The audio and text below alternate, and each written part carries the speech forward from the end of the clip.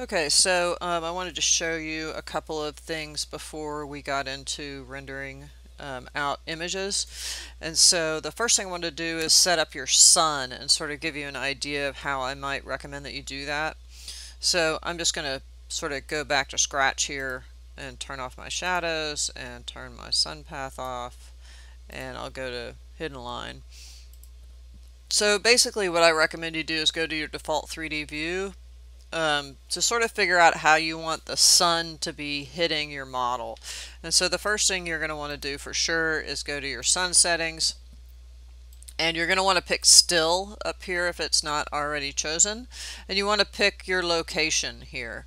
Um, and then you can pick sort of a date. It'll probably go to the current date, um, whatever time it is for you. Um, or you can go to one of the presets like the summer solstice or something like that. Doesn't really matter. Um, so I'll just go to like summer solstice here. I don't know why it does 2004, but um, I don't think it makes a difference. But um, and click OK, and then go ahead and turn your shadows on and turn your sun path on. Um, your sun path is going to um, size itself to the size of the extent of the model. So if you have some really big um, site model, you might want to turn that off so the sun isn't that big. Um, you can scale it a little bit, like this is at 150. If it at 100, right, it'll make it a little smaller. Um, so you can scale it down if you need to as well.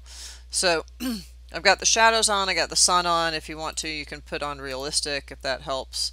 And then what you can do, and this has got to be in your parallel 3D view, it can't be in a perspective view, you can just move the sun around, right, and see how that affects the shadows, right? Now I'm kind of pulling it, right, and if I pull it kind of over here, you can just go in, look at your file, you know, and get a good idea of where those shadows are and how you want them to sort of dip into the building if you want them in a little further. And you can sort of adjust the sun um, to where you want it. So if I wanted the sun right here, I would then go into my sun settings and I can save this location, right? So this settings right here.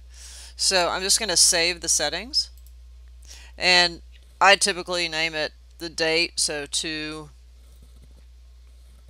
uh, probably 0214 and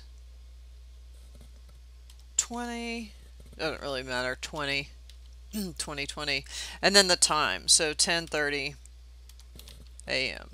right? So that gives you a setting right there and if you click OK, you can use that setting when we set up the views in just a minute. All right.